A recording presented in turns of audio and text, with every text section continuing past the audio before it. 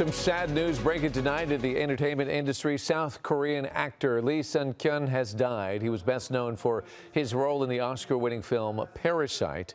Police had been searching for Lee after receiving a report that he was missing, and his family said that he had written a message similar to a suicide note. Lee had been a popular actor in South Korea for years before gaining international fame for playing the head of a wealthy family in Parasite. Lee Sun-kyun was 48 years old.